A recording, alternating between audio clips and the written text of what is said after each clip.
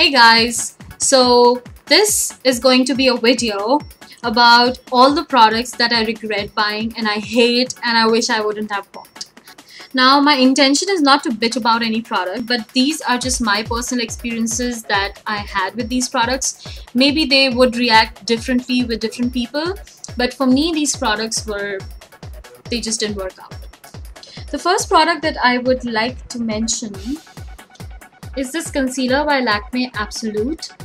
To be very honest, when the range was launched and Kareena being the brand ambassador and everything, I really thought this would be a good product. But what I don't like about this product is that it's uh, not very glidable. Like if you see, you can't really, it's not very blendable.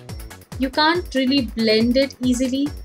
It just kind of makes a very chalky appearance on your face. It's not as good as other contemporary products in the market currently. And maybe I even picked up the wrong shade or whatever the reason might be. But for some reason this thing just didn't really work for me. And so I really regret buying it. So if you're planning to buy a Lakme Absolute Concealer make sure you go to the store two three times test it out two three times wear it on for seven to eight hours and see how much it stays and just see how you feel and only then go and invest in this product. Otherwise i don't recommend buying this product. The second product that i don't like and i regret buying the color tattoo eyeshadow from maybelline. This product really didn't work out that well for me. The only reason being first is that the color payoff as an eyeshadow is not that great because this cannot this does not blend so easily. Again the blending problem is there. This does not blend so easily. Like you see it just stays on there and it, it kind of looks very stainy. It's not very blendable. The product keeps gliding with every movement you make with your finger.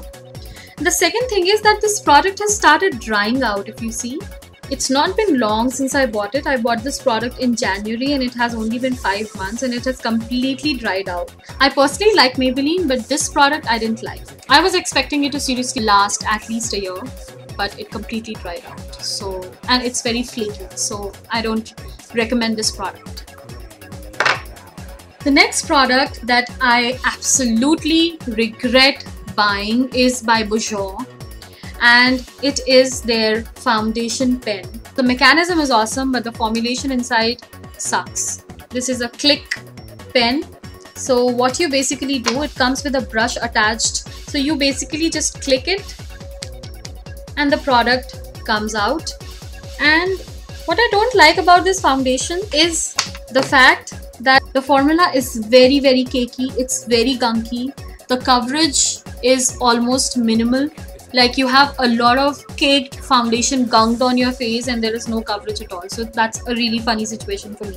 So if you're planning to buy this foundation please reconsider. Now the next product that I regret buying is this conditioner from Body Shop. This is banana conditioner. First of all I hate the smell of banana. I just don't like it. And this has the typical banana smell.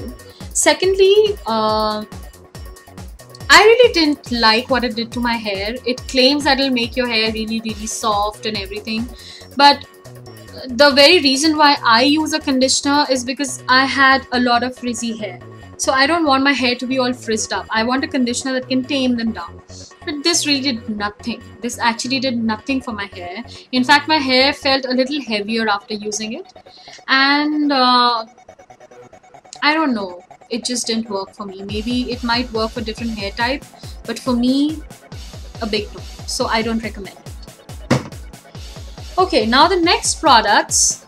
I've had a long love-hate relationship with these products. These are by TIGI, the Bedhead series and this is actually the high definition curl series because I've had really really curly hair so uh, this was actually recommended to me by the lady there at the salon. To be very honest, I like the shampoo. Uh, the conditioner I didn't like because it just did not make my curls define the way they say that this is actually a, it has curl boosting shots in it and it will define your curls and other things like that. This technically did nothing for my curls. I think I was better using a regular L'Oreal shampoo or something else that would have defined my curls better. So I did not like it The second thing that I didn't like about this product was the smell. Now this has a very exceptionally sweet candy like pina colada kind of a smell. So if you are a fan of that Malibu flavor smell, I mean I like Malibu kind of smells but this is a bit too much. So if you don't mind smells that make you cough instantly, please go and buy it. But if you are, if you're not a fan of those kind of smells, then reconsider, you know, before buying it. These are from the Ultra Facial uh, line of products from Kiehl's.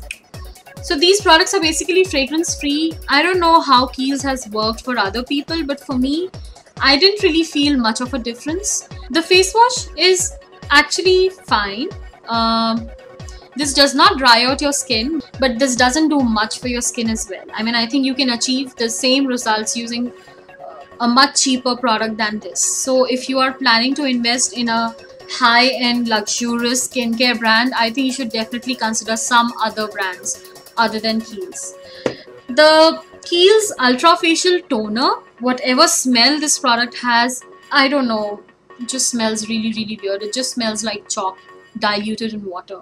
And the effect is also something like that. Maybe if somebody has an excessively oily skin this might work for them oh actually you know what my husband likes this product but for some reason I just don't like it I'm not outrightly rejecting these two products but I'm saying uh, if you could request for samples and use them for a week and see how you feel only then buy it because these are really expensive products and you don't want your money to be just you know stagnated in products that you're not going to use. The last product that I seriously regret buying is this deodorant by Nivea. When I bought this product, I bought it because it smelled really fresh and I would love to smell like this while I'm working out in the gym or you know while I'm going out for a walk or something. I would like to smell like this. This has tones of lemongrass. The fragrance and everything is okay. But what the hell is this? See?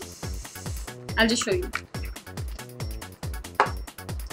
Do you see that? This forms a white coating. Now, you'll be wondering that, okay, white coating is formed by most of the deodorants these days that don't have acetone or whatever that product is. But this actually sticks on, you know. This product sticks onto your skin. So I remember actually spraying it on my neck and then I've had that little patch of spray even though I tried to blend it with my hands stayed on for months and it would just not go because it turns into a very rubbery kind of a substance. And this product seriously I mean see it just stays like that. It just stays like that.